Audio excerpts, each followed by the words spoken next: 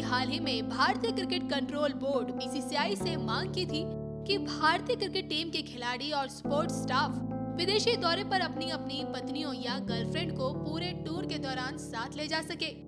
जिस पर कुछ मीडिया रिपोर्ट्स में कहा जा रहा था कि भारतीय cricket control board captain Virat Kohli की उस बात को मानने पर राज़ी हो गया है।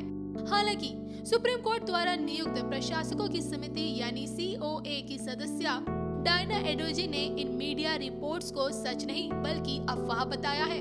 गुरुवार को न्यूज़ एजेंसी एनआई के हवाले से सुप्रीम कोर्ट द्वारा चुनी गई कमेटी ऑफ़ एडमिनिस्ट्रेटर्स की मेंबर डायना एडोजी ने ये साफ़ किया है कि अभी तक इस पर कोई फैसला नहीं हुआ है।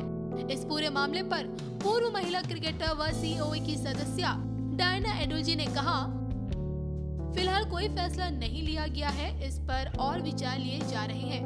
थोड़ा और वक्त लग सकता है इस तरह की जितनी भी खबरें प्रसारित हुई, गलत हैं।